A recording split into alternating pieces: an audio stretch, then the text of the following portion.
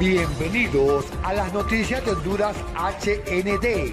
Atentos a las noticias más impactantes de Honduras. Comenzamos. Es acusado de recibir millones de dólares de carteles de la droga. El acusado, de 54 años, se ha declarado inocente de todos los cargos que se le imputan en todas las audiencias. Entre sus denuncias, Gringo menciona que extrañamente la información ya entregada venía afectada con virus y no se pudo abrir, y el resto no había sido entregado pese a las continuas solicitudes. Cabe recordar que el pasado 10 de enero del presente año, el juez Kevin Castell reprogramó por primera vez el juicio de Juan Orlando Hernández, pasando del 24 de abril al 18 de septiembre. Ahora nuevamente se posterga para el próximo 5 de febrero de 2024, es decir, cinco meses después. Asimismo, se está a la espera de la reprogramación de las próximas audiencias donde el exmandatario comparecerá previo a su juicio. El expresidente de Honduras en los periodos de 2014-2017 y 2018-2022 es acusado por la Corte del Distrito Sur de Nueva York por tres cargos. El primero es la conspiración para importar cocaína, el segundo es posesión de armas de fuego y dispositivos destructivos, y conspiración para poseer armas de fuego y dispositivos destructivos. De acuerdo a las investigaciones, el exmandatario participó en una conspiración corrupta y violenta de tráfico de drogas para facilitar la importación de toneladas de cocaína a los Estados Unidos. Además, se le señala de recibir millones de dólares de múltiples organizaciones de narcotraficantes en Honduras, México y otros lugares, incluyendo el antiguo líder del cartel de Sinaloa, Joaquín Guzmán Loera, alias El Chapo. El expresidente Juan Orlando Hernández se enfrenta a un castigo máximo de tres cadenas perpetuas y a un castigo mínimo de 40 años de prisión, si es encontrado culpable de los cargos por los que fue acusado por la justicia de Estados Unidos.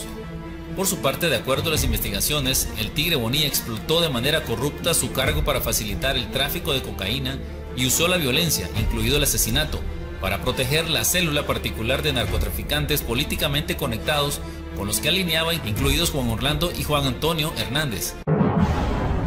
La unidad fiscal especializada contra redes de corrupción UFERCO del Ministerio Público acusó por corrupción a varios exfuncionarios y a los expresidentes hondureños Juan Orlando Hernández y Porfirio Lobo Sosa. Según la UFERCO, Hernández Alvarado es acusado de fraude y lavado de activos. Las investigaciones profundizan en el beneficio obtenido por el expresidente Hernández en los desembolsos realizados desde instituciones públicas hacia las fundaciones. Caso Pandora 2.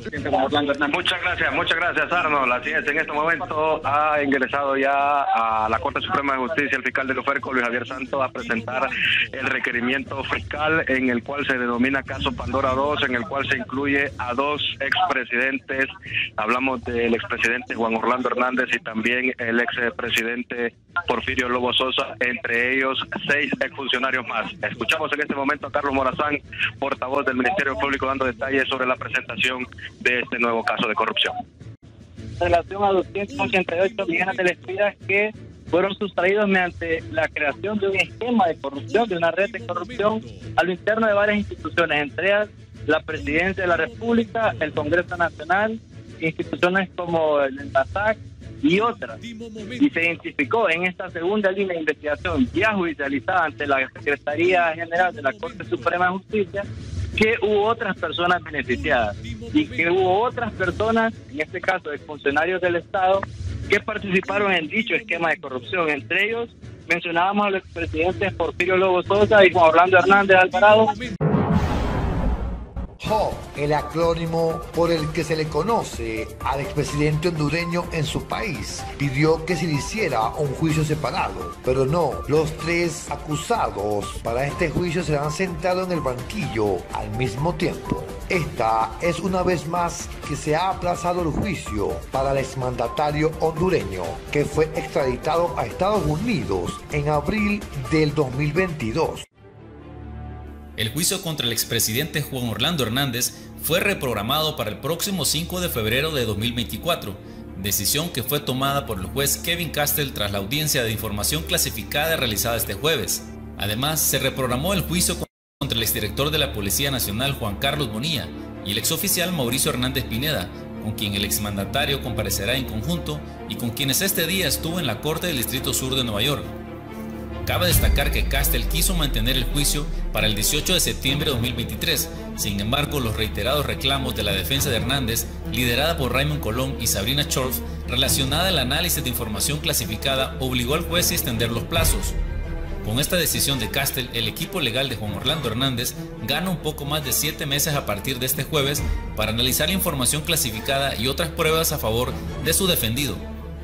Asimismo, cabe recordar que los fiscales del Distrito Sur de Nueva York presentaron retrasos en la entrega de información clasificada por los voluminosos materiales de descubrimiento y que el juez extendió el plazo hasta el 17 de mayo cuando se debía entregar el 17 de marzo.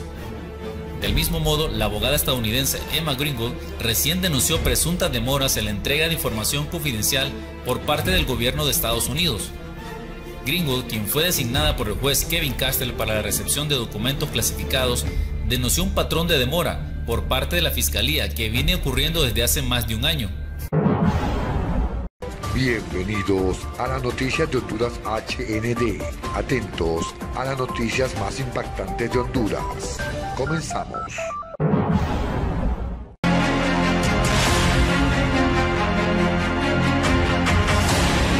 Documento indica lo recibido por los expresidentes Lobo y Hernández al obtener 2 millones de dólares del narcotráfico por dar protección y dar cargos en la administración pública en el país, lo cual permite saber que el gobierno viene desempeñando una corrupción por muchos años, también vinculados al narcotráfico, donde se ha desarrollado una estructura que aún en manos de los actuales dirigentes del pueblo hondureño nada se detiene.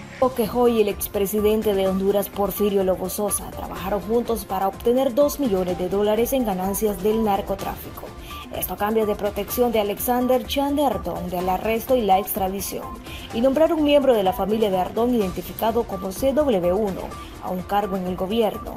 Nombró a CW1 como director de Fondo Vial, institución de infraestructura en el país. Hernández se asoció con Giovanni Fuentes Ramírez, un narcotraficante hondureño que ayudó a producir y transportar cargamentos de cocaína para los cachiros. Parte de estos narcóticos eran elaborados por Tony Hernández, especifica la misiva. Según las acusaciones antes de las elecciones presidenciales de 2013, Juan Orlando solicitó y aceptó en privado millones de dólares de narcotraficantes y malversó fondos del gobierno hondureño para su campaña. Antes de las elecciones de 2013, Chan de Ardón gastó aproximadamente 1.5 millones de dólares en drogas con el fin de sobornar a políticos en Copán para que apoyen a Juan Orlando en la campaña política. Tras el soborno, el cártel de Sinaloa, encabezado por Joaquín El Chapo Guzmán, utilizó a Honduras como un importante punto de transbordo entre los laboratorios de cocaína de Colombia y el cártel controlaba territorio dentro de México. El papel de Juan Orlando Hernández era de protección del paso de la droga.